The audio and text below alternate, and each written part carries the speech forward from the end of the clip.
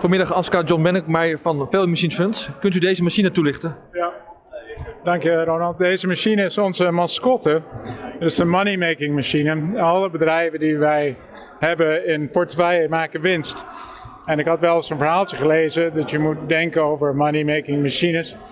Dus ik heb uh, Willy Kampinga benaderd, die is klokkenbouwer in uh, Overveen. En die heeft een machine gemaakt die cashflow genereert. Het zijn allemaal eurocenten uh, die hierin zitten. En die worden gemaakt. En dan vragen we onze klanten 10 cent per uur, 1000 euro per jaar. Wat is dat waard? Je kan het aan je kinderen geven en je kleinkinderen. En die blijft uh, centen produceren.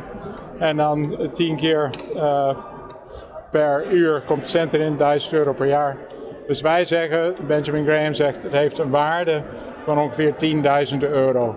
Dus 1 euro voor 10 is 10% rente. Bij vastgoed zeg je 10 keer de huur is niet duur. En daar valt de cent erin. En dat is de money making machine. Kunt u wat bedrijven noemen die een uh, lijken op een money making machine qua aandeel? Um, nou, de, deze klok aan zich is gewoon uniek. Maar de bedrijven waar we in zitten, die echte moneymakers zijn, zijn bijvoorbeeld Berkshire Hathaway. En Berkshire heeft aandelen in Coca-Cola. Coca-Cola zit in Atlanta, Berkshire in Omaha, Nebraska. En er is een cashflow pijpleiding van dividend van Atlanta naar Omaha, Nebraska van 13 dollar per seconde, die de hele dag aan het stroom is. We zijn eigenaar van Mastercard. Elke transactie van Mastercard levert Mastercard geld op. 70.000 transacties per seconde. En zo houden we dat bij. Mijn collega Hendrik die heeft belegd in Value Machines Fund. En we berekenen wat zijn de generally accepted accounting principle earnings. En toen hij begon met 100.000 euro was het 1 cent earnings elke 72 seconden. En nu drie jaar later is 1 cent earnings elke 31 seconden. Dus we verdienen in de loop der tijd steeds sneller en sneller geld door het rente-op-rente effect. En binnenkort 1 cent elke seconde. Okay. Ziet u ook in Europa uh, dergelijke aandelen die uh, ja, net zo rendabel kunnen zijn?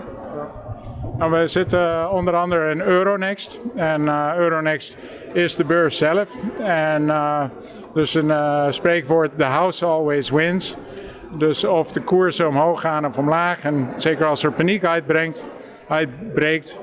En paniek is dan heel goed voor Euronext, want er worden er meer aandelen verhandeld. En Euronext money making machine die draait dan harder dan normaal. Uh, kunt u tenslotte nog wat toelichten over het investeren in China? Um, nou, het investeren in China, uh, het lijkt heel aantrekkelijk nu. En als we gewoon onze algoritmes zouden laten draaien, dan zouden we voor 40% in China zijn.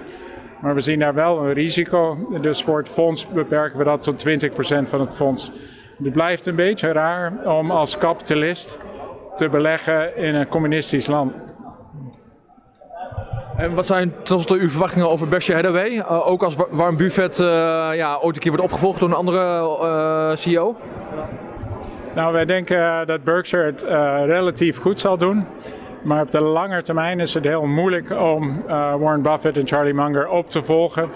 En wij hebben onze positie in Berkshire enigszins beperkt tot 8% van het fonds op dit moment. En um, wij verheugen ons erop om Warren en Charlie weer te ontmoeten. Wij gaan naar Omaha in mei. En alle Nederlandse beleggers zijn van harte uitgenodigd op zaterdagmiddag na de meeting om te komen naar de Hilton voor de Dutch Drinks in Omaha. Dat klinkt goed. Dank u wel voor deze toelichting. Dankjewel Ronald. En uh, succes met uh, de redactie.